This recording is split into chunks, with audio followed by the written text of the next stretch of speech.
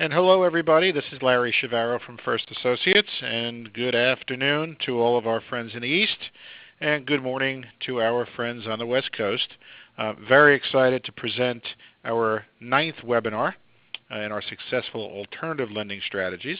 Um, today, we are really excited to have Phil Bartow, the portfolio manager from River North, join us to talk about a look ahead of marketplace lending for 2017. Uh, thanks to Rose Waldy, our marketing manager, for putting this together, and Phil, who has uh, graciously uh, volunteered to chat a little bit today. Um, you will find that uh, a couple housekeeping issues here. Uh, all of the webinars that we've done in the past are recorded and on our YouTube channel. And then at the end of the webinar, There'll be a quick survey if you can take a minute or so to complete that. That helps us uh, provide uh, content for upcoming webinars. Uh, all the webinars and all of our information is on uh, the First Associates website. Rose, next slide please. A little bit about First Associates. We are the largest third-party servicer of marketplace loans in the United States. Uh, we are uh, working with most of the participants today in marketplace lending from Prosper, Lending Club, Funding Circle, Avant, Loan Depot, and probably a hundred other companies today, and all of the investors that purchase these loans. Uh, we value our uh, relationships with all of the platforms and the investors out there. Um, we were founded in 1986, and the new ownership group uh, we came in about seven years ago and have grown today from six people and a $30 million portfolio to over 240 people and close to 12 billion and we will be up to about 400 people by the end of uh, 2017. Um, we're headquartered in San Diego. Um, I'm looking out the window today and it's cloudy unfortunately. We had rain yesterday but Sunday was 80 degrees. Sorry to my New York friends who are about 8 or 10 degrees today. Um, we provide uh, loan and lease servicing, backup servicing, custodial, contract verifications for not only marketplace lending but all consumer and commercial assets except for mortgage. Um, one bit of information um, as the webinar goes, and we'll talk about a quick agenda. Would you please, um, if you have questions, there is a button on the uh, left-hand side on the bottom that you can send in your questions. We will have a 10-minute presentation followed by questions and answers uh, today. If we don't get to all the questions, we will uh, have Phil respond to them and then we will email them out and the webinar uh, slides will be emailed out afterwards as well. Next slide please. Some upcoming events. Um, next week in Las Vegas, um, the IBIG Marketplace and Cloud Lending Summit and Expo. Um, uh, an excellent, an excellent event. Uh, I will be hosting uh, two sessions on uh, loan origination, servicing, and investors. Um, very excited to, to be doing that once again with the folks from, from IBIG. Followed two weeks later, Context Alternative Lending Summit uh, in Miami. Followed by SVIG, uh, big investor conference in Vegas, typically uh, 6,000 attendees. And then the granddaddy of them all, Lendit um, 2017 back in New York this year, so we'll see all of our investment banking friends there March 6th and 7th.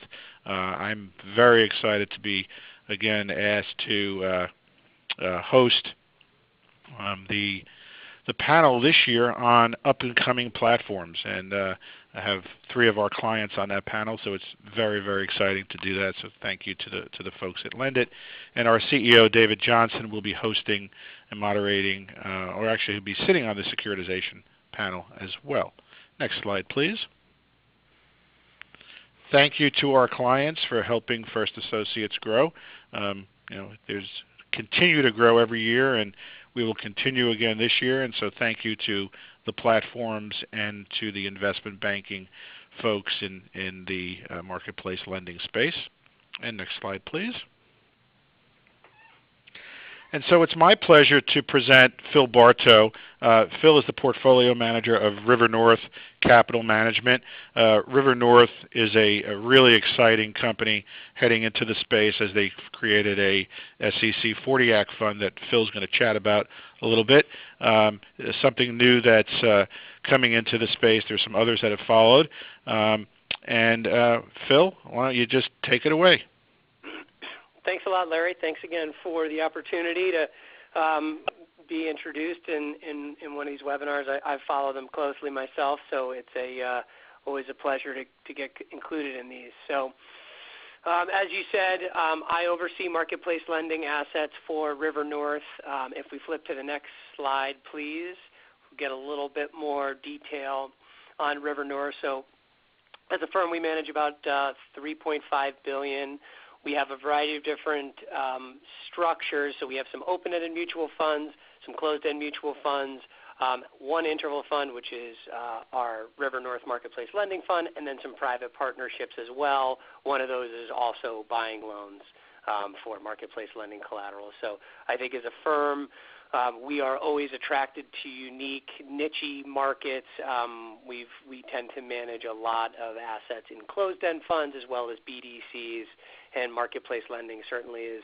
um, a market that we think is very interesting. There's a lot of growth there, and it's uh, I think you can certainly make a, a an argument that it's uh, a niche market that has some attractive pricing to it. So we, we've um, we put a lot of time and effort, as Larry said, into launching a 40 Act fund uh, dedicated to the asset, and we launched that in September of last year. So we're really excited about that, and we continue to, see a lot of um, a lot of attention there, and uh, that's that's really what we're focused on. So if we could jump to the next slide, please. I wanted uh, my comments today to just uh, to just be sort of a, a, a informal run through of, some of the the trends and themes that I'm expecting in 2017 Larry and I had this conversation at a conference in November, and he said, you know, we, we're always interested in hearing what people expect for 2017. So I wanted to highlight um, six trends that I see in the market or I expect to see more in 2017. We kind of have them laid out here quickly, but we will go forward to the next slide and just go over them uh, bullet by bullet uh, pretty quickly here in 10 minutes and then move over to questions. So I do expect continued consolidation on the originator side. I think this is certainly a prediction or a trend that people have been expecting.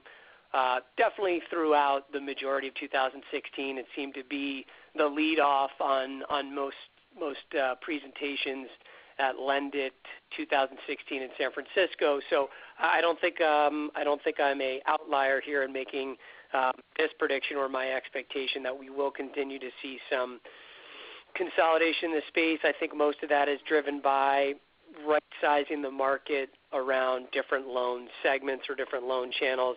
As we know, you know, in consumer, just to use as an example, there are a bunch of different consumer originators, but I think there are different originators that offer different value propositions at different parts of that, whether it be credit quality spectrum or geographic spectrum or otherwise. So I do think the market is finding its footing around um, how many originators we need targeting kind of the same borrowers and who's really doing that best. So um, I, I, do expect that you will see more of that going forward. Uh, next slide, please. This also follows on the, on the first point, so not probably too much of a, of a leap, leap here from a logical perspective. Um, I, I think that originators are really turning their focus on profitability if we're looking backwards and thinking about some of the trends we saw in 2015, we saw a lot of energy and a lot of um, excitement around marketplace lending. As a function of that, I think we saw a lot of growth in originators, and I think maybe not necessarily all those originators were able to originate profitably. We kind of fast forward to where we are today and thinking about some of the um, events of 2016, it's really important for platforms to make good loans, but also make those good loans in a way that that makes economic sense. I think that really um, allows them to to really see a, a sustainable future if they really can generate cash and be profitable as they go. So I think um, we've already seen this as, as platforms um, right size their businesses and think about um, think about their model, so to speak, and whether they distribute loans or hold loans on their balance sheet. I think they're really focusing on making sure that their originations are profitable for them, and, and we like that. We think that's a we think that's a, a trend that that we'd like to see more of. Next slide, please. Uh, third, we have a focus on financial over technology. So that's a that's a sort of a of a of a shorthand way of saying I think 2016 events really highlighted the fact that funding mixes of the funding mix of platform selects is really really an important um, part of their business. And when markets are um, healthy and there's a lot of demand for product, I think there's a little bit less focus on being diversified and having some having some diversification as well as um, a funding mix that will allow you some contingencies, whether that be warehouse facilities that you can fall back on if um, loan buyers pull back, or other other ways to finance your business. But I, I think when we talk about fintech, there's a lot of buzz and there's a lot of headlines, and there and it certainly garners a lot of attention in the press. But as I look at at the at the space today, I hear more focus on the financial over the technology. I, I think people are more focused on saying, "Hey, you have great you have a great origination model, but how are you funding yourself, and what are your contingencies in place, such that the market changes hands uh, changes." Um, you know the mood or the sentiment changes how do you how do you manage that change over time? So I, I think that some of the lessons that marketplace lenders are focusing on i think there's a little bit of irony here. They they actually are probably looking back at more traditional specialty finance companies. So you have technologically enabled lenders kind of looking back at how um, lenders in 10 years ago, 20 years ago, in some cases 25 years ago, used to uh, fund their business. I think they're going to take some interesting lessons away from that. So uh, that is another another trend that I expect to see in 2017 is you'll really see a, a heightened focus on funding mix. Next slide, please. Um, this also this also is sort of a buttresses the previous point. Um, this is the growth in programmatic securitizations. I, I think that um, securitization and marketplace lending have made for um, I- you know interesting partners thus far. I think the way that securitization really came about for this collateral is you had investment managers buying um, collateral, holding it for some period of time, and then essentially bringing that collateral to market, doing either a private or a public securitization, which would provide term financing essentially to that investment manager. The investment manager would typically retain the junior most piece or the residual piece of that deal, um, and essentially finance their collateral with uh, with senior with senior bonds. I think that you will see more of this. I think it's a very logical outcome for again platforms that want to diversify their capital mix. It's great to have some private fund buyers, whether they be hedge funds or private equity structures. I think 40 Act funds are also an important part of that. I think bank and insurance companies can potentially be really helpful in diversifying that capital mix for platforms, but I also think securitizations are also um, an important part of that. So as we think about where we have been, where we are, where we're going, I think that you will see more what I used here, branded securitization. So you'll see um, originators have a programmatic approach, whether it be quarterly or semi-annually or annually, a securitization with their name on it, right? Instead of a investment manager acting as financial sponsor bringing that deal, I think what you'll see is marketplace lending originators working directly with investment banks to have um, a securitization program with that originator's name on it. We like that. We think that makes sense. Um, we, we like that from an incentive perspective. I want to see originators put their name on their securitizations because if loans don't perform um, in line with their expectations, um, I, I think that, that that is that is sort of laid bare, and I think that's important for originators to be behind their collateral. So um, we we expect to see more of that. One other bullet point I hear was just risk retention, risk retention in in the asset-backed securities business is something that has um, been mandated through changes in the regulatory environment. It's something that has already been adopted in non-agency mortgages and uh, is well on its way in structured credit markets, specifically CLOs. I think you are going to see more of it um, come along to existing ABS markets absent a, a change um, in the legislation, which uh, could certainly occur based upon uh, the new administration, but it's just something that's still not really clear to me how risk retention is going to work for marketplace lending uh, originators as they come to do these programmatic um, securitization. So that's something that we will kind of continue to look at and monitor. Um, and the last point I put on here was just a more liquid ABS market. I think it's good for uh, the overall market. You can get a sense of where collateral is trading. You can get a sense of market sentiment. So I think if there's um, more deals out there and more collateral. There's more performance reports. I think generally speaking, that's uh, that's good for both sides of the market, both um, originators and and buyers of loans. Next slide, please. Uh, I think this is an industry-wide um, trend that we're seeing. I, I, think there is a big desire on both sides of the market, so originators as well as loan buyers, to have more standardization in this industry. One one one thing that certainly seems to be um, a lot a, a, source of a lot of time and energy for both sides of this market is um, data systems, documentation, loan structure, and reporting. So I think the industry is wise to um, work as well as they can together to have a more standardized approach to data. So specifically definitions of data, how you calculate debt to income ratios. Are you including this new loan? Are you not? Little things like that. Um, I, I think if we had a standardized approach for that, I think it would make uh, make things a bit easier for uh, for loan buyers as well as as as invest as investment managers when they do their reporting, so they have some um, some standardization and, and some clarity around that. Same idea for loan structure. Uh, there are a few different structures out there. I think over time, the market, generally speaking, will probably pick a handful or two or three of those structures as opposed to having many different structures out there today. Uh, next slide, please.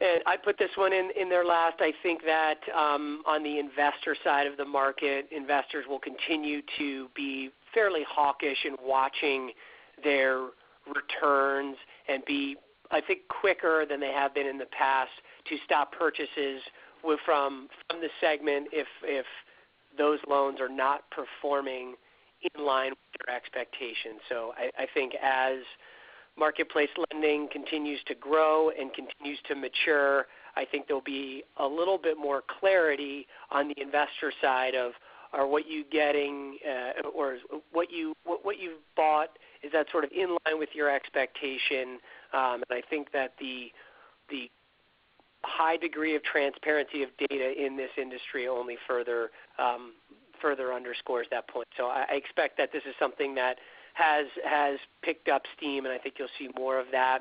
Um, my second my second point here was was sort of thinking about investors and how they think about marketplace lending assets. Let's just focus on whole loans for the moment. How they think about whole loans fitting into into the relative value landscape. Um, bonds are certainly moving around. You have uh, some significant moves in in interest rates in the last uh, 60 to 90 days. Thinking about that, how that should be reflected in marketplace lending, I think is certainly something that's on the tip of a lot of people's tongues. So I expect that you you'll see um, more focus on that uh, from the investor side. And then lastly, I included uh, just thinking about the risk-adjusted comparison of whole loans versus warehouse financing versus securitization. So as you kind of think about the industry continuing to mature, you'll have whole loans You'll have warehouse facilities, which are essentially loans made to originators so that they can make loans, and then securitization as collateral. I think investment managers will kind of really be looking at all three of those instruments as opposed to saying, hey, I'm just a whole loan buyer or hey, I'm just a securitization buyer. I think you will see investment managers continue to compare and contrast across those three as those three channels continue to evolve uh, in 2017. So those were the those were the predictions and um, and kind of thoughts that I had for 2017. Um, if we could jump through to the next slide, please. I think I'll kick it back over to Larry. If uh, if Larry, if you want to want to take the lead on the Q and A portion. And thanks, Phil. And that was that was really good information, and, and appreciate that you, put that together for the group here. Um, we we've received a whole bunch of questions here based upon some of the issues. Um, I'm going to start and ask you a question from my end in regards to consolidation. I mean, we saw four or five small platforms get consolidated or close up in in 2016. A couple of small business issues. We've had um, on the First Associate side some backup servicing uh, trigger going into primary that we're in the middle of today. Um, we've seen another one that that uh, that triggered that uh, has had issues there. Um, so I would imagine that you folks are doing a lot of diligence in regards to which platforms are you working with. Uh, maybe you could share which ones they are. And I know that you know what you can share is is public information, and what you can't share uh, as such. So if you could maybe uh, opine on that first question, would be nice. Yeah, uh, we do a lot of diligence on the front end. Um, I think coming from the asset-backed business, um, in my experience, I think I know a few areas at which are potential um, areas of focus. However, this industry is um, evolving and changing, so it's something while we have a, a baseline that which we start with, we are always thinking about what are things that we should be more proactive about and thinking about on the due diligence front. So it's uh, you hit the nail on the head there. It's an important part of this industry and making sure you really understand all the facets of, of your originator, whether it be how they acquire their borrowers, they're on their marketing side, their systems, their operations, their servicing, their data. Um, it really is a, it really is a, a big process to undertake and one that I couldn't underscore the, the importance anymore. So I think you hit the nail on the head there. In terms of who we buy from, um, I will list who we have in our prospectus, which is our, our consumer originators, uh, which is Lending Club Prime, Prosper Prime, and SoFi Personal Loans. So that's listed in our prospectus, and then we'll have some uh, quarterly filings that will come out shortly in a couple weeks that will highlight a couple of the other platforms that we buy from, specifically on the small business side. So um, we have we have typically right now we have five platforms. I think we'll look to maybe add one or two in 2017, maybe maybe two or three in 2017. But um, as we kind of uh, as we kind of already highlighted, it's a lot of work to add these platforms, to build out the systems, to understand their data. So it's not something we uh, we wander into without a lot of consideration. Great, thanks for that. Um, we had a question come in um, uh, from from our friend John Farber from Citibank here in regards to the structure. And so, will River North be participating in securitizations, or is your fund structured differently? Uh, we can participate by prospectus. We can participate in whole loans, warehouse facilities, and securitization. So um, I think we wrote that in in June of 2015 when we filed. So I think we had a we had some foresight there about those channels emerging and growing. So we have the ability to do that at the moment. We are more focused on whole loans. I expect that um, as we continue to grow the fund, we will look um, a little bit more at securitization and, and warehouse facilities. Okay, and, and to expand on securitizations, another question came in on what your thoughts are, and I know you touched on this here, but what your thoughts are on platforms taking reps and warrants on the securitization. Some have done so, and some have not. Yeah, look, I think that um, you know, thinking back to what we were just talking about a few minutes ago about standardization, securitization as a as an industry or as a tool, not related to marketplace lending, but for pretty much all collateral. Um, in order for it to work, in order for the bonds to be able to trade effectively on a secondary market, you really need to have as close to standard terms. So when you're looking at a non-agency mortgage or a CLO, you need the documentation around the, the, deal to be as standard as possible so you can really focus on the collateral and that's where you can um, you can express your views um, on the on the credit of the underlying asset. So I think in order for securitization to work in in in meaning continue to grow and to have those deals be somewhat programmatic. I think you do have to have a pretty standard package around reps and warrants. I think if you have one originator making them and others not, I think it's going to just create an environment where in the secondary trading market for the bonds, it's just going to end up in a very illiquid situation. Great. Thank you for that. Um, we just received another question from our friends at, at Celtic Bank, who actually are one of the origination charter banks and do a fine job at that as well. Um, you know, can a platform succeed in today's market? Uh, or uh, basically it should say, how much seasoning in the assets do you, do you want to see from a platform and their success before purchasing loans?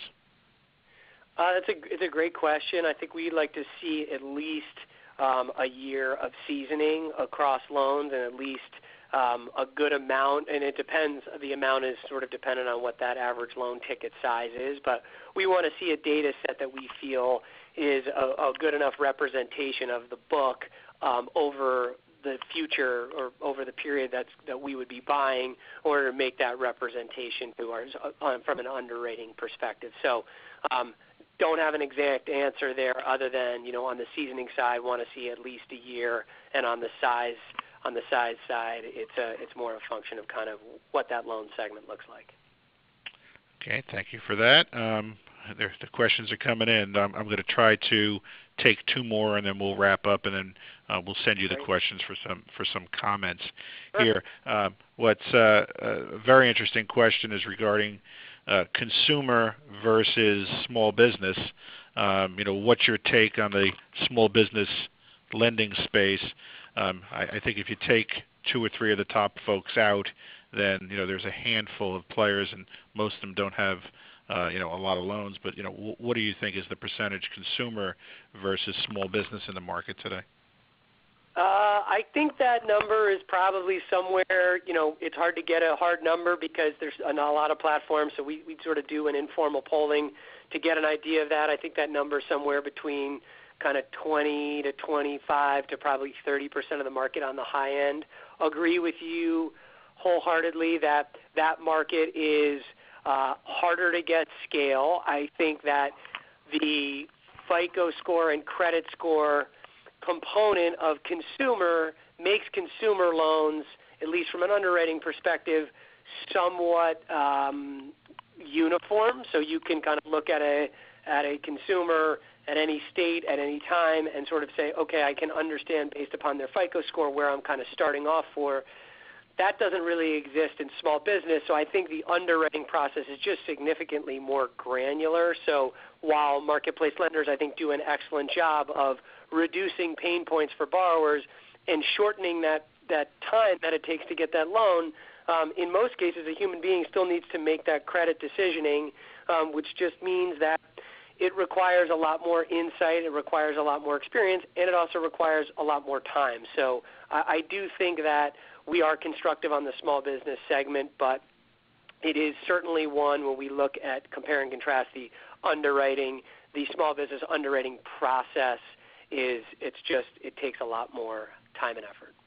Great. And then um, the last question I have, and, and um, th- this has been really, really valuable stuff today, um, is um, can you expand your point that you know marketplace asset investors will be more interested in uh, investing in warehouse lines. What we're seeing is a lot of newer participants have jumped in that are providing warehouse lines, and some of the guys that have been around and maybe were early adapters are waiting for some of the smoke to clear.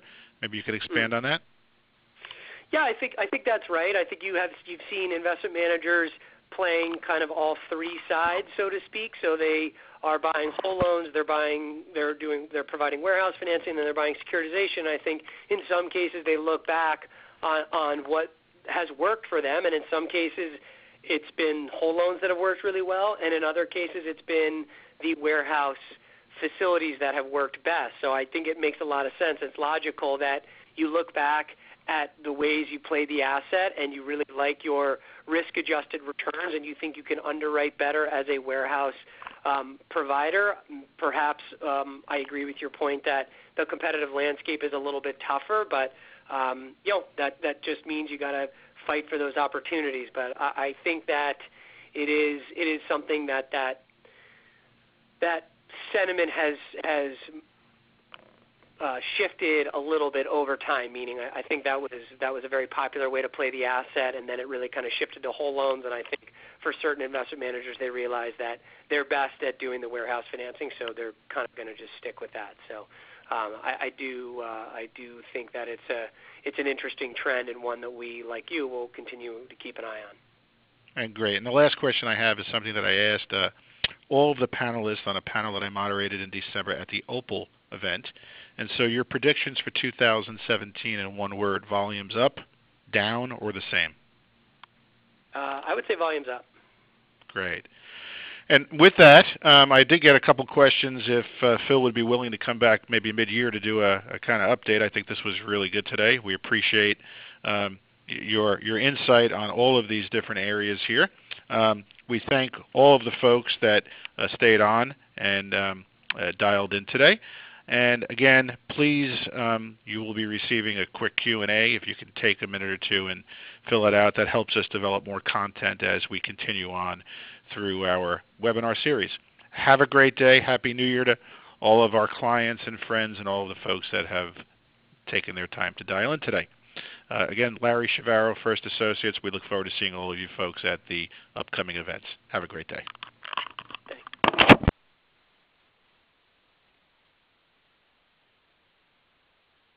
Thank you. Please stand by.